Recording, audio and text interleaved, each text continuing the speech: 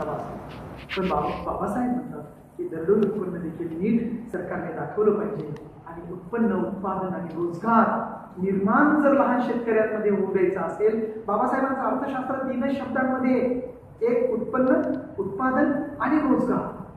ह्या तीन गोष्टींमध्ये सरकारनं सातत्यानं काम केलं पाहिजे. तर लहान शेतकऱ्यांचे प्रश्न सुटू शकतात. नाही तर सरकारने एक मेला की त्याला पाच लाख दुसरा मेला की पाच लाख. म्हणजे आपण मरण्याची वाट बघायची का शेतकऱ्याची? तर अशा पद्धतीचं बाबासाहेब आंबेडकर सांगतात. जर हे धोरण राबवलं सरकारने या पन्नास वर्षामध्ये तर कदाचित एकाही शेतकऱ्याला आत्महत्या करावी लागली असती. आणि म्हणून या दृष्टिकोनातून देखील विचार केला पाहिजे. बाबासाहेब आंबेडकरांचं मी सांगितलं तुम्हाला की सामुदायिक शेतीच्या माध्यमातून सक्सेसफुल जे मॉडेल रशियानं विकसित केलं ते बाबासाहेबांनी त्याच्या पुढे सांगितलं की कलेक्टिव्ह फार्मिंग आपण केली पाहिजे. हे सगळे मुद्दे तुम्हाला माहिती आहेत. पण जे मुद्दे जास्त माहीत नाहीत मी त्यावर आज जास्त थोड्या वेळावर ते प्रत्येक मुद्द्यात मी पाच पाच मिनटं घेईन. पण त्या मुद्द्यांवरती तुम्हाला जे आजपर्यंत माहीत नाही त्या मुद्द्यांकडे मी येणार आहे.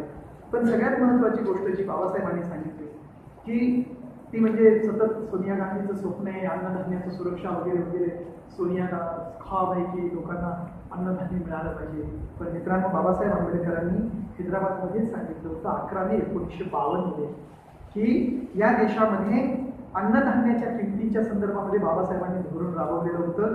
ते धोरण मांडत असताना सांगितलं की भविष्य काळामध्ये कुठल्याही योजनांना धक्का लागू नये. तरी सुद्धा घटक राज्यांनी प्रत्येक माणसाला अन्न कसं मिळेल त्याची सुरक्षा केली पाहिजे. बाकीची आर्थिक मदत जी आहे ती बंद झाली तरी चालेल परंतु न्यूट्रिशन हा जो पॉवर्टीचा एक कॅलरीजच्या संदर्भामध्ये मानण्यात येणारा जो बाबासाहेबांच्या अनुषंगाने ते पुढे आलेला आहे ती पॉवर्टीची व्याख्या कशी करायची? तर बाबासाहेबांनी जे अर्थशास्त्रामध्ये सांगितलं की कोण पावर कोण पावर्टीमध्ये आहे की ज्या माणसाला खऱ्या अर्थाने न्यूट्रिशन मिळत नाही तो पुअर आहे. कारण ज्याला न्यूट्रिशनच मिळालं नाही त्याच्याकडनं अपेक्षा कलेक्टर होण्याची कसं काय करू शकता तुम्ही? ज्याला न्यूट्रिशनच मिळालं नाही कॅलरीज मिळाले नाही बाबासाहेब म्हणतात अन्नधान्याची सुरक्षा जोपर्यंत होत नाही तोपर्यंत. आणि तो सगळा ओझा राज्यांनी त्या काळामध्ये बाबासाहेब सांगतात की राज्यांनी तो स्वीकारला पाहिजे तो केलाच पाहिजे. हे मॅन्डेटरी आहे.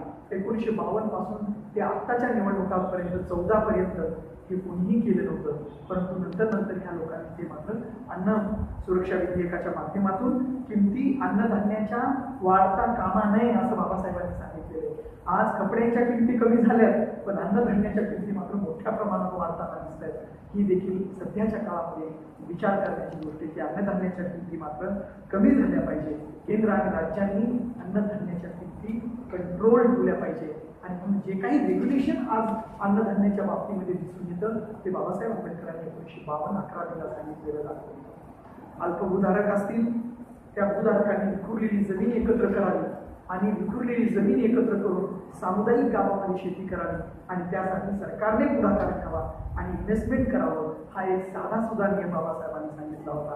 कामगारांच्या बाबतीमध्ये बाबासाहेबांनी दोन वर्ग सांगितले होते की एक श्रीमंत गरीब आहे परंतु कामगारांमध्ये याच्यात जास्त न जाता एकच महत्वाची गोष्ट सांगतो की श्रमिकांमध्ये श्रम विभागणीचं तत्व ॲडम स्मिथ नावाच्या अर्थशास्त्रज्ञाने सांगितलं होतं. परंतु ॲडम स्मिथच्या नंतर बाबासाहेब आंबेडकरांनी सांगितलं की श्रम विभागणीमुळे स्पेशलायझेशन वाढतं आणि उत्पादकता वाढते हे बरोबर आहे. जर एकाला जे काम येतं टेलरला तेच काम येतं म्हणून आपली बाबा बलुतेदारी तीच आहे. श्रम विभागाचं सगळ्यात चांगलं मोठं जर उदाहरण असेल तर बाबा बलुतेदारी ज्याला ज्याच्यात पारंगत आहे तो त्याच्यात सातत्याने काम करतो आणि त्याच्यामध्ये स्पेशलायझेशन आणि प्रोडक्टिव्हिटी तो वाढवतो. परंतु बाबासाहेब आंबेडकर म्हणतात भारत देशामध्ये तसं नाही युरोपात आहे. भारतामध्ये श्रमिक अंचित विभागणी आहे. आणि म्हणून आमचे कामगार एकत्र का संघर्ष करत नाहीत? आमचे शेतकरी का एकत्र संघर्ष करत नाहीत? शेतकरी संघटनेचं लेबल लावून बसलेत. शेतकरी एकत्र का नाहीयेत?